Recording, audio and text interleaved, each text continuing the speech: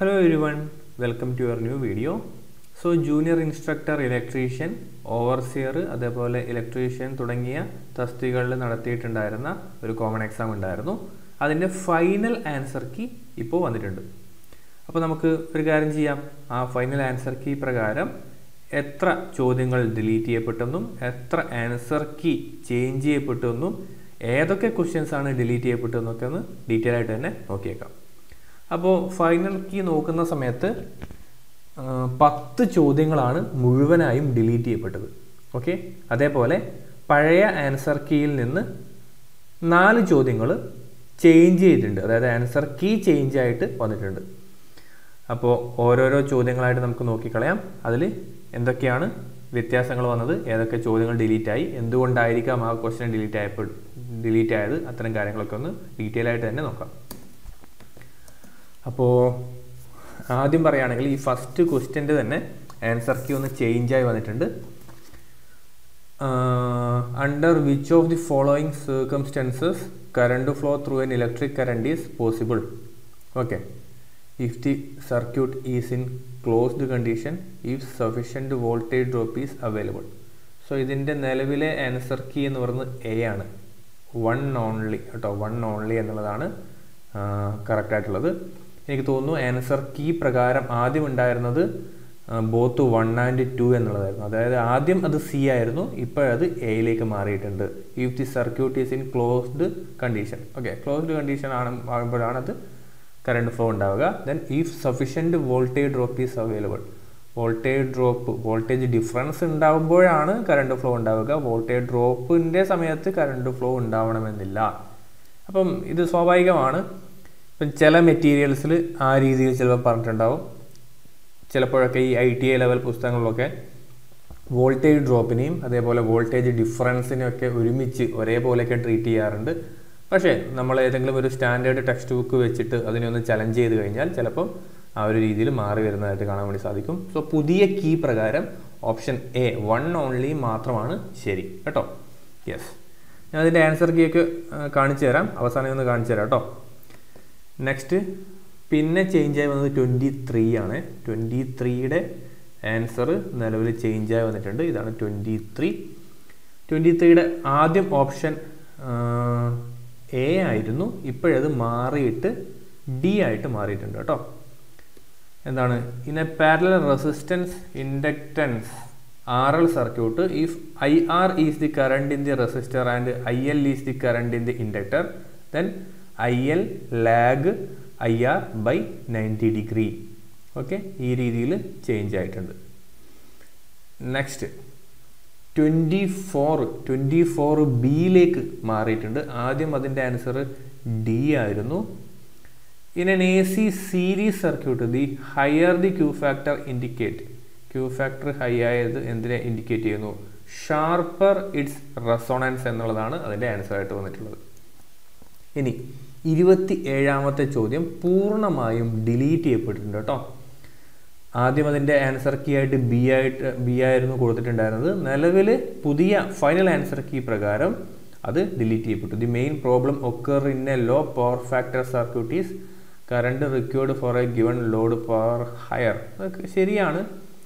പക്ഷേ ചിലപ്പം ഒന്നിലധികം ആൻസേഴ്സ് വന്നതുകൊണ്ട് ആയിരിക്കാം അത് ഡിലീറ്റ് ചെയ്യപ്പെട്ടത്. കാരണം നമുക്ക് more than one option കൊടുക്കാനുള്ളതില്ലല്ലോ more power is consumed by the load yes നമുക്ക് വേണമെങ്കിൽ അങ്ങനെയും പറയാം. കുറേ പവർ കൺസ്യൂം ചെയ്യപ്പെട്ടേക്കാം. ഓക്കെ കാരണം റിയാക്റ്റീവ് പവറിന്റെ കേസ് വരുന്ന സമയത്ത് കൂടുതൽ കറണ്ട് ലോഡ് വലിച്ചു കഴിഞ്ഞാൽ അല്ലേ?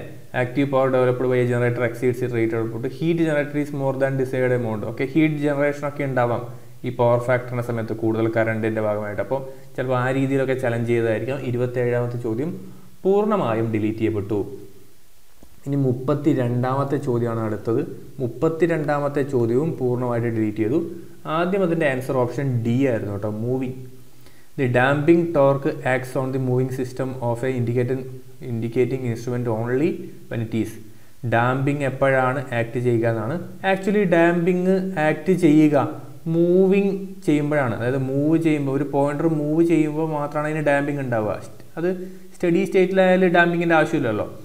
Stationary near its full scale deflection just starting to move okay ചിലപ്പം വേറെ ഏതെങ്കിലും ഓപ്ഷൻസ് വെച്ചിട്ടോ വേറെ ഏതെങ്കിലും മെറ്റീരിയൽസ് വെച്ചിട്ടോ ചലഞ്ച് ചെയ്യപ്പെട്ടിട്ടുണ്ടേക്കാം ഉണ്ടായേക്കാം. അതുകൊണ്ടാണ് ആ ഒരു ചോദ്യം ഡിലീറ്റ് ചെയ്യപ്പെട്ടത്.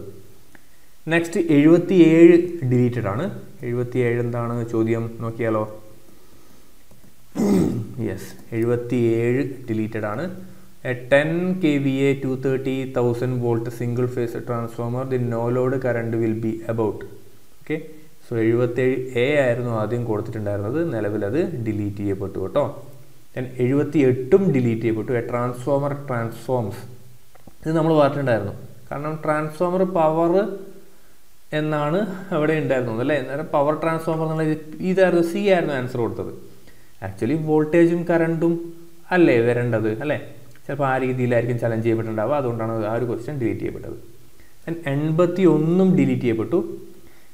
Which of the following flip flop is not free from race around condition എനിക്ക് തോന്നുന്നു ഇത് വന്ന സമയത്ത് തന്നെ കുറേ ആൾക്കാർ എസ് ആറും ജെ കെയും ടി ഫ്ലിപ്പ് ഫ്ലോപ്പും അല്ലേ അതൊക്കെ വെച്ചിട്ട് പറഞ്ഞിട്ടുണ്ടായിരുന്നു. ചിലപ്പോൾ ആ റീസൺ കൊണ്ടായിരിക്കാം. എൺപത്തി ഒന്ന് ആദ്യം ബി ആയിരുന്നു. അത് എന്ത് ചെയ്തു? നിലവിൽ ഡിലീറ്റ് ചെയ്യപ്പെട്ടിട്ടുണ്ട് കേട്ടോ. എൺപത്തി ആറാണ് പിന്നെ ഡിലീറ്റ് ചെയ്തത്. എൺപത്തി ആറും ഡിലീറ്റ് ഇവിടെ the counter having most speed is okay എൺപത്തി ആറ് ആദ്യം സിങ്ക്രണസ് കൗണ്ടർ എന്നായിരുന്നു കൊടുത്തിട്ടുണ്ടായിരുന്നത്. പിന്നെ അത് ഡിലീറ്റ് ചെയ്യപ്പെട്ടു ദെൻ തൊണ്ണൂറ്റി മൂന്നും ഡിലീറ്റഡ് ആണ്. തൊണ്ണൂറ്റി മൂന്ന് യെസ് ഇൻ അപ്പോൾ എനിക്ക് തോന്നുന്നു നിങ്ങൾക്ക് ടഫായിട്ടുണ്ടായിരുന്ന ഇലക്ട്രോണിക്സ് മുഴുവൻ ഡിലീറ്റ് ചെയ്യപ്പെട്ട ഒരു കേസാണ് വരുന്നത് അല്ലേ? പവർ ഇലക്ട്രോണിക്സ് ഇലക്ട്രോണിക്സ് അധിക ചോദ്യങ്ങളും ഡിലീറ്റ് ചെയ്യപ്പെടുകയാണ്. In a J F T after V P S reaches pinch off value V P drain current S D becomes അത് സി ആയിരുന്നു ആദ്യം ഉണ്ടായിരുന്നത് ഇപ്പം അത് ഡിലീറ്റഡ് ആയിട്ടുണ്ട്. നയന്റി ഫോർ എക്സ് നയന്റി ഫോറും ഡിലീറ്റഡ് ആണ്.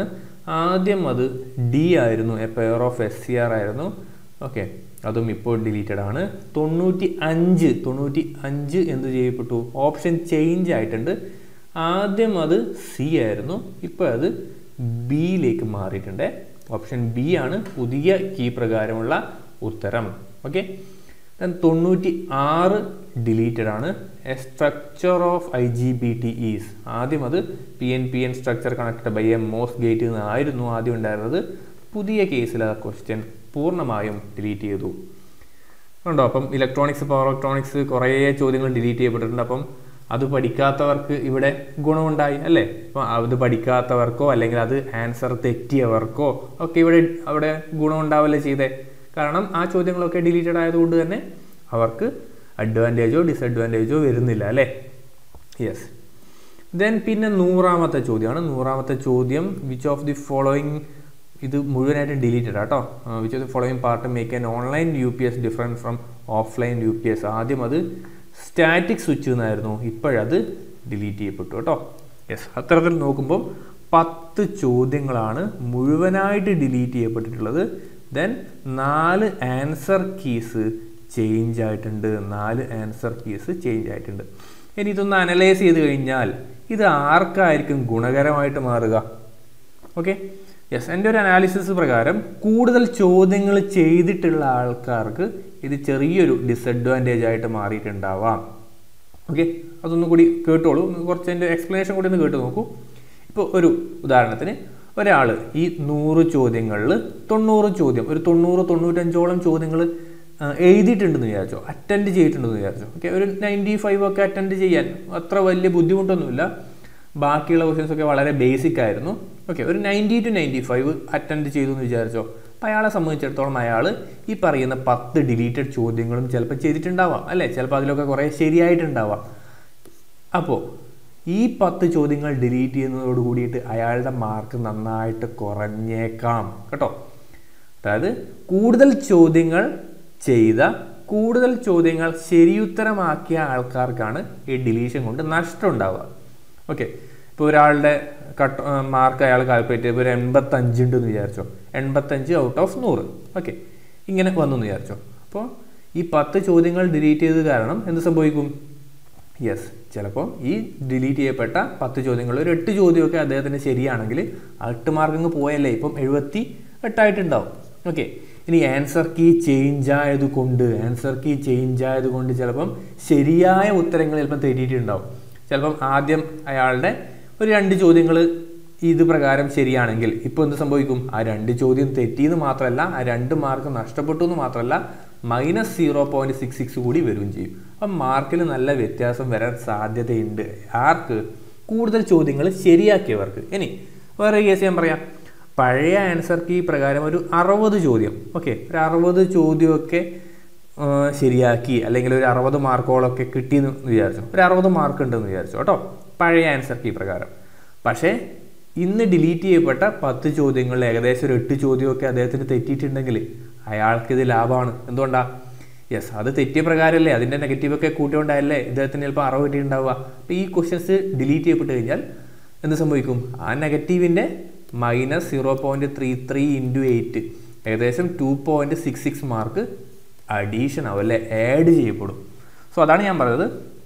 ഡിലീഷൻ എപ്പോഴും കൂടുതൽ നന്നായി പ്രിപ്പയർ ചെയ്യുന്നവർക്ക് അല്ലെങ്കിൽ കൂടുതൽ നന്നായിട്ട് മാർക്ക് സ്കോർ ചെയ്യുന്നവർക്ക് മാർക്ക് നഷ്ടവും ഒരു ആവറേജ് സ്റ്റുഡന്റിന് മാർക്ക് കൂടാനും സാധ്യതയുള്ള ഒരു കാര്യമാണ്. അപ്പോൾ ഇത് കട്ട് ഓഫിലൊക്കെ ബാധിക്കാം. കട്ട് ഓഫും നല്ല രീതിയിൽ കുറയാനോ അല്ലെങ്കിൽ ചിലപ്പം കട്ട് ഓഫിൽ ചെറിയൊരു ഏറ്റക്കുറച്ചിലുണ്ടാവാനൊക്കെ സാധ്യതയുണ്ട്. നമുക്ക് നോക്കാം. അപ്പോൾ നിലവിൽ പത്ത് ചോദ്യങ്ങൾ ഡിലീറ്റ് ചെയ്ത സ്ഥിതിക്ക് എക്സാം നമുക്ക് കൺസിഡർ ചെയ്യാൻ വേണ്ടി പറ്റാൻ ഔട്ട് ഓഫ് നയന്റിയിലാണ് കേട്ടോ. ഇനി കുറേ പേര് ചിലപ്പോൾ ചോദിക്കും സാർ ഈ ഡിലീറ്റ് ചെയ്യപ്പെട്ട ക്വസ്റ്റ്യൻസിന് മാർക്ക് കൊടുക്കുകയാണോ ചെയ്യുക? അതിന് ഫ്രീ മാർക്ക് കൊടുക്കുമോ അങ്ങനെയല്ല. ഡിലീറ്റ് ചെയ്തു എന്ന് പറഞ്ഞു കഴിഞ്ഞാൽ ആ ക്വസ്റ്റ്യൻ പൂർണമായും ഒഴിവാക്കി.